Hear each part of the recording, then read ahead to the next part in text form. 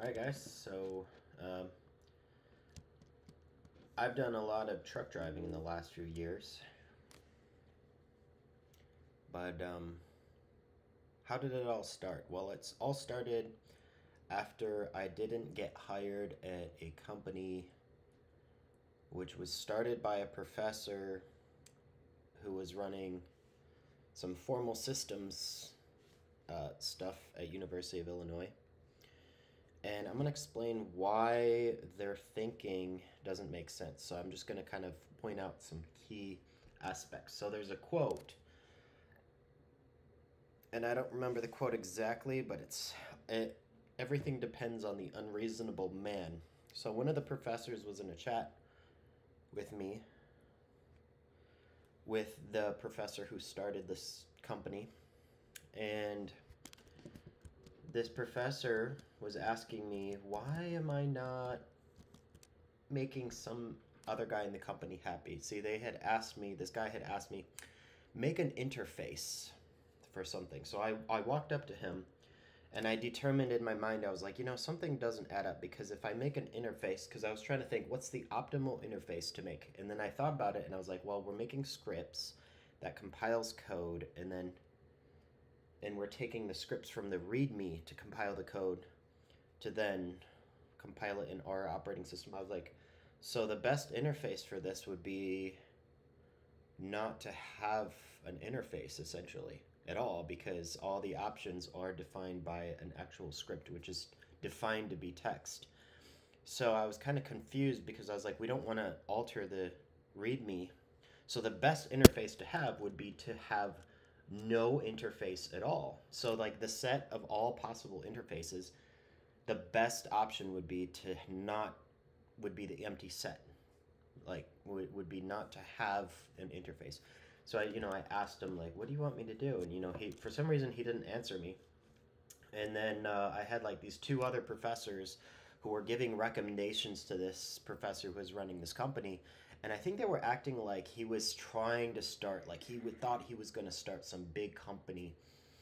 Um, and the whole reason why I was at this company in the first place is because I not only figured out that you had to formalize code, but I also figured out like six other core fundamental things. And it seemed like this professor had only figured out one of these seven fundamental ideas it, it kind of reminds me of like Bitcoin, where nobody understands Craig Wright and they don't understand how to scale Bitcoin because they only understood one aspect of it, not like all the like 10 core fundamental aspects. So that's why BSV is like literally like 2 million times less expensive than BTC to do a transaction. That's like going to the gas station and spending $125,000 instead of 25 cents on a transaction. So um, anyway, I had figured out how to get rid of programming language all altogether. Like literally, you do not need programming languages for anything. Not from assembly language all the way up to Haskell. You don't need C. You don't need C++. You don't need any of them. And I was gonna formally prove it like in a PhD, uh, like showing with math that literally like with math that you don't need the programming languages because literally every possible thing that you could possibly do 100% of all possible things you could do, you could do in a system that I um, had already come up with, and a lot more because it was generalized. But uh, that didn't matter because literally no one at the company ever asked me one time like anything about this like they didn't care at all there was one chinese guy who had lunch with me and that was about it. No one else even wanted to have lunch with me. I think they didn't think that math you they, they thought that you have to have a degree or something or you have to have some social standing in order for your math to be correct, not for math itself to to be correct. If that makes sense.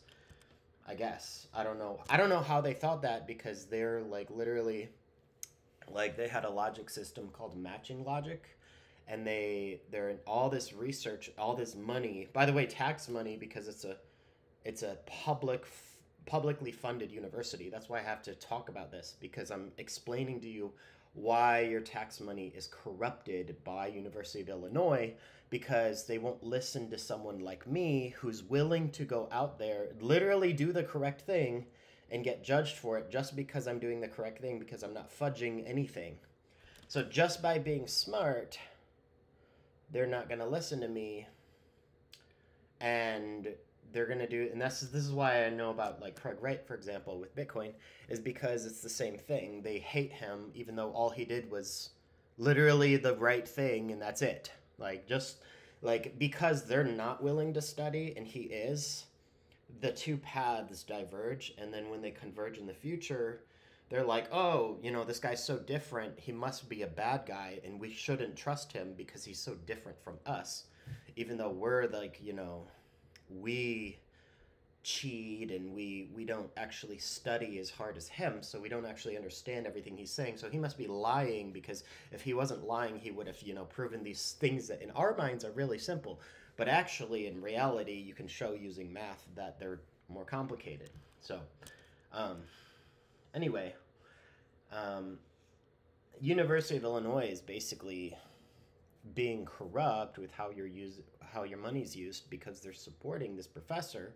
And they're also he also has these other professors who are saying these quotes to him like oh you know you have to be an unreasonable man which is funny because i was asking like in the chat like why? It's like they were trying to get like have an accountability guy there just to watch to see me like somehow i'm not listening to doing everything i'm told by the way I, I like to do literally everything that i'm told to do as long as it's mathematically possible but when somebody comes up to you and they're like, "You you're not working hard enough unless you find the positive integer which is less than 3 but also greater than 6. You better find it otherwise you're not doing your homework." It's like so it's impossible. Oh, nothing's impossible. You're complaining that it's too hard. You're not hard enough worker.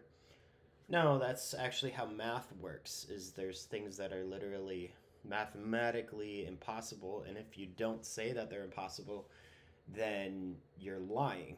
So or you're just wrong. Um, so anyway, um, I had done all this research as a student at University of Illinois. Nobody was really paying me.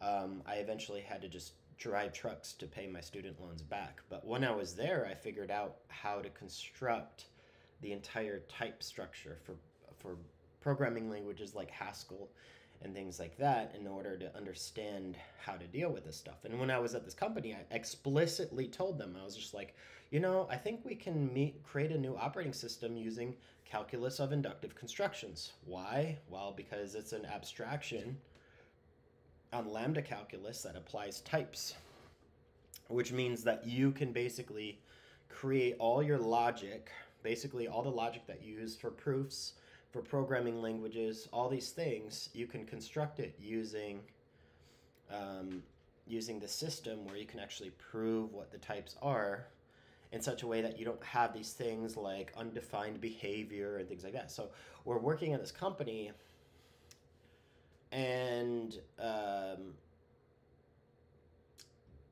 they're they're literally like finding undefined behavior for the programming language C. And it's like, where's this?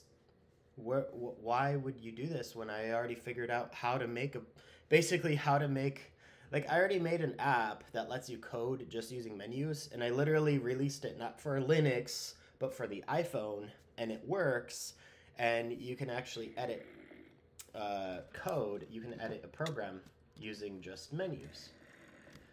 So I did all this, and this was what I did years before I even worked at this company, like four years before I worked at this company. So that's how I got hired there. Was I actually showed this to the professor. So he should have known when he hired me, like, oh, Tim figured out how to create a um,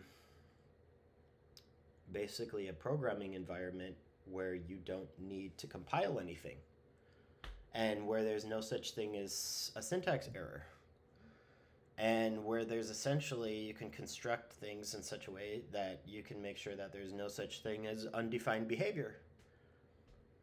Because you can limit the stru- you can limit the rules for of construction to synthesize programs that only are defined in a in a way that's valid according to your type rules according to your behavior rules. So um, all you have to do is show that you can construct all the c programs with that.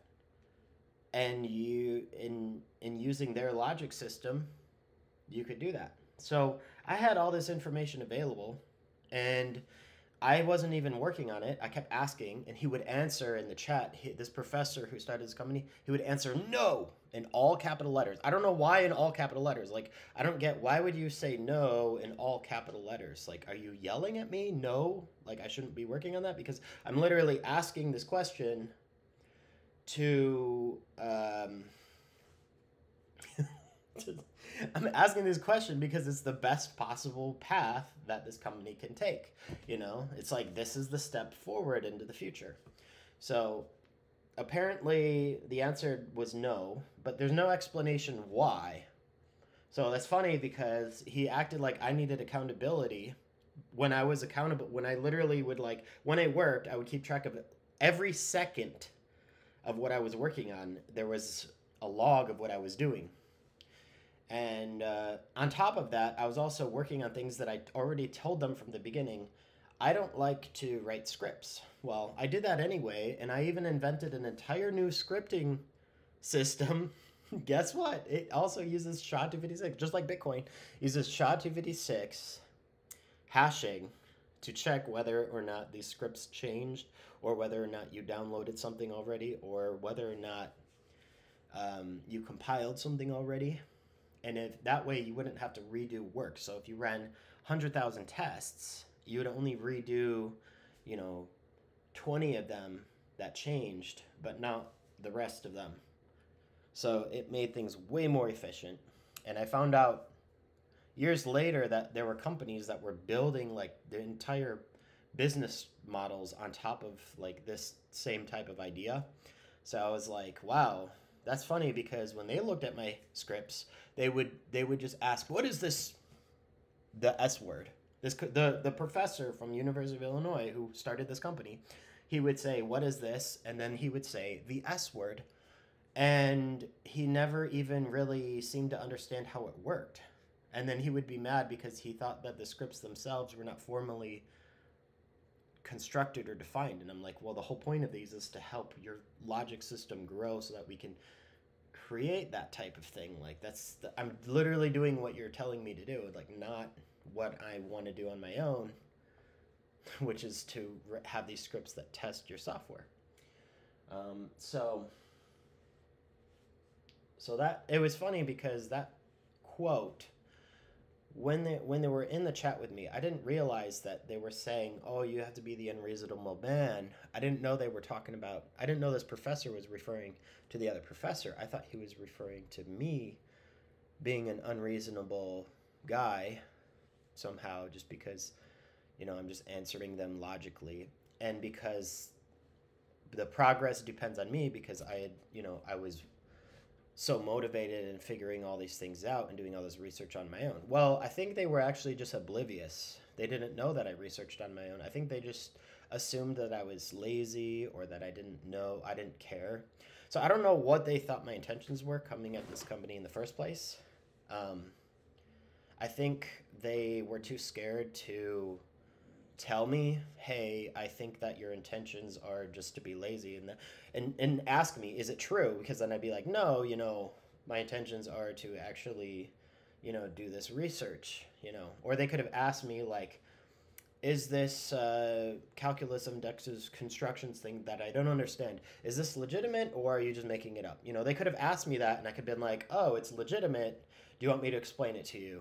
Or you know, I think you keep asking, why do you want to work on these other things? But they don't ask me these things. And they don't ask, they, they didn't pay attention to the fact that these error messages that came up in the scripts had nothing to do with anything that I had programmed. It had everything to do with literally them telling me, you have to use this, you know, use this uh, testing suite for that's designed for Java, which prints out error messages. Use that to test um, our C programs. You know.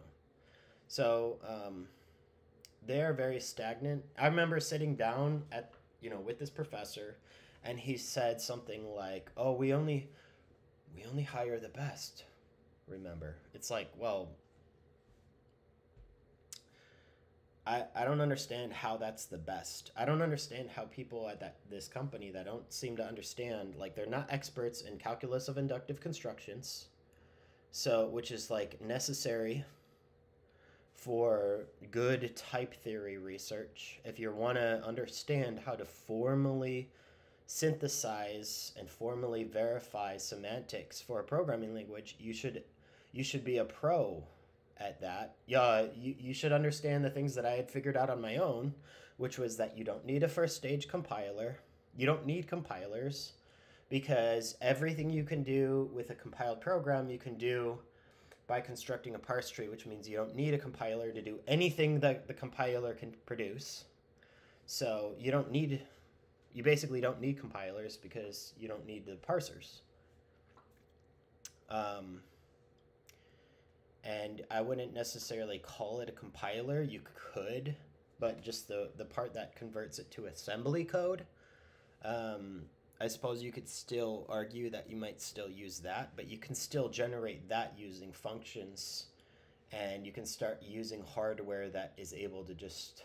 I mean, you can start running dynamic code which produces um, that produces assembly code um, as an output of a function, which means you don't need a compiler anymore because you don't need to treat an entire set of uh, an entire expression system separately um, as data from another uh, expression system. You, all the math can be composed together and it and you're using calculus of inductive constructions you're using types to define what is a higher level statement, what is assembly statement.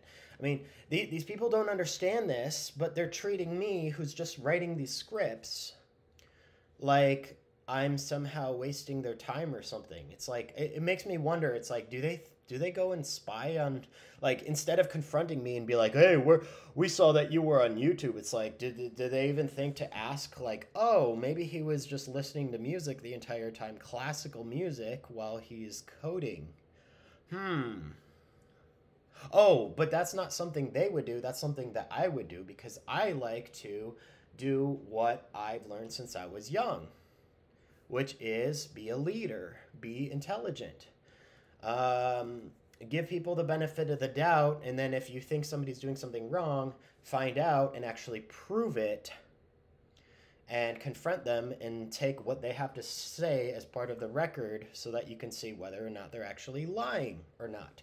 Unlike what they did in the high court with uh, Craig Wright, by the way, because he answered like every single little tiny question that was presented to him and he he he explained everything and uh, they still didn't under they don't even understand uh, the difference between the types of Merkle trees that you have to use to verify transactions.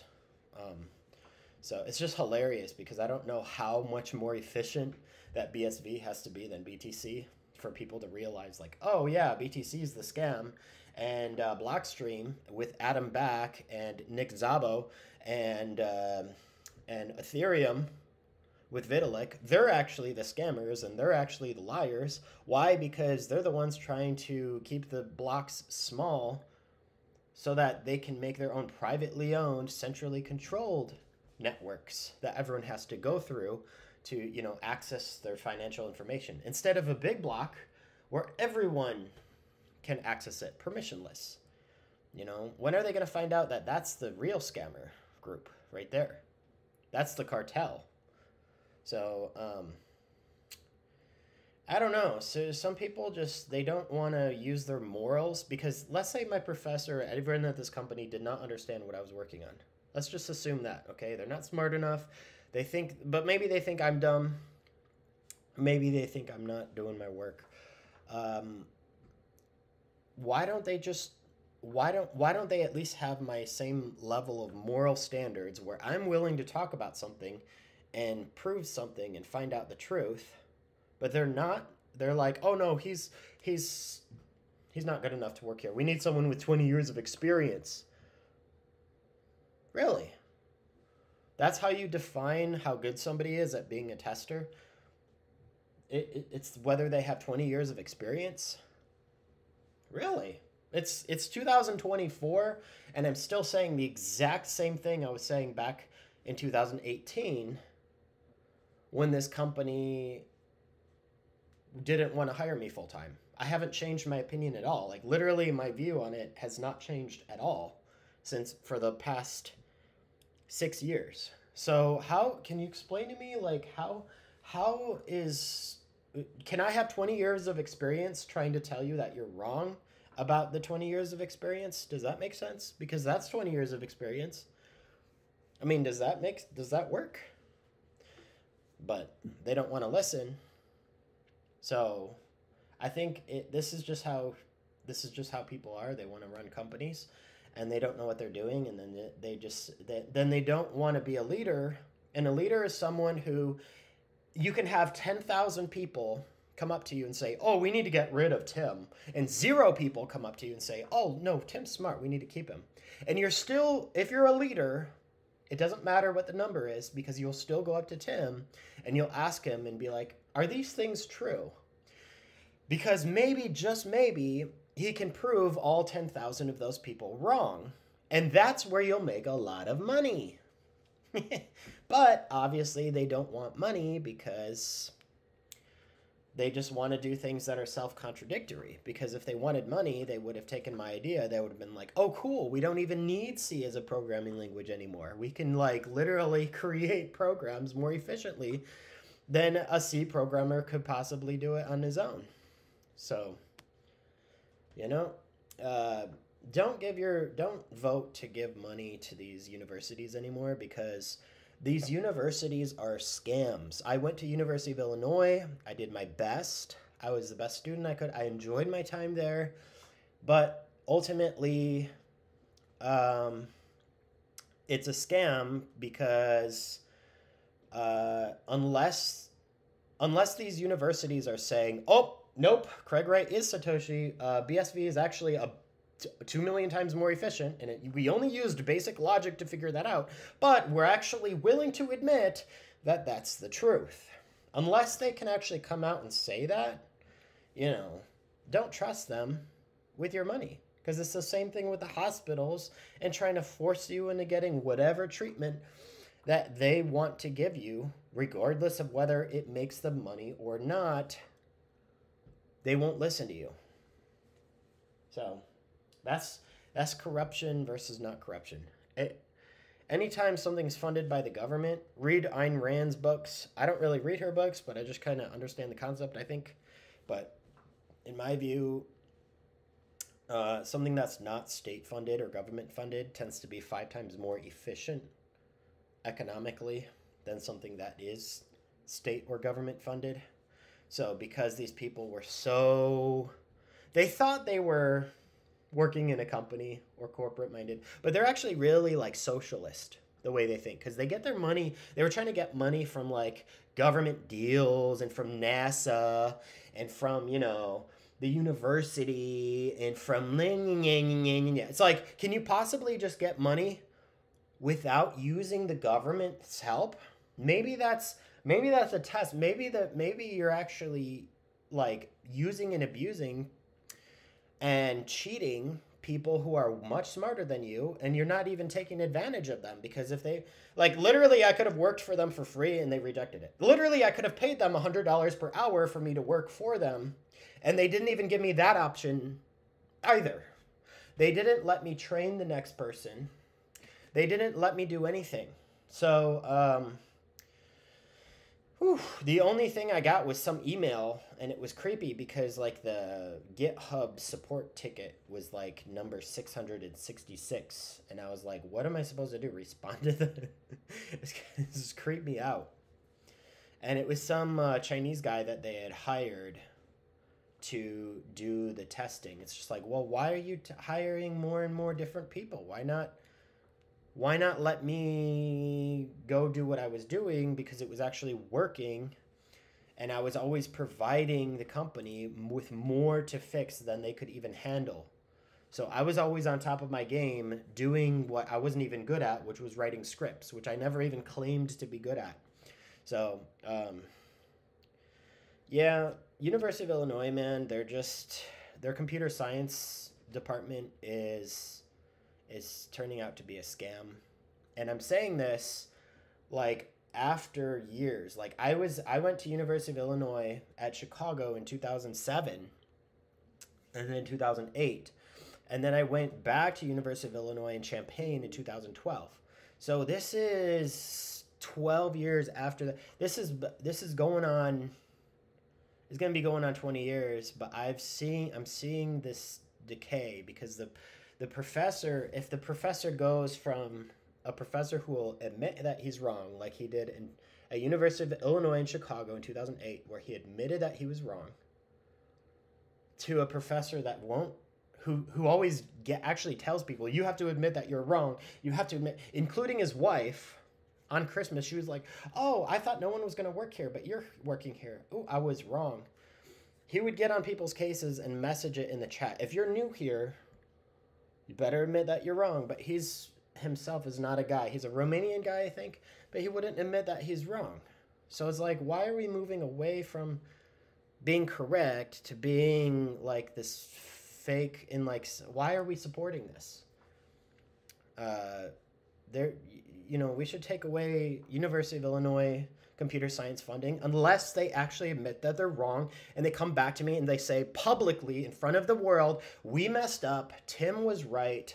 He did all this research on his own as a student. Nobody paid him. He owns all the research. He figured out how to get rid of programming languages once and for all. We do not need them. He formally showed that we do not need them. And we rejected him and we didn't listen to him. We forced him to be homeless in our own city where the university is. We forced him to go out and drive trucks. We forced his parents to reject him because he didn't want to come back to this company because I didn't. I, I I told this company after three months they were like, well, you know, we're kind of on the fence.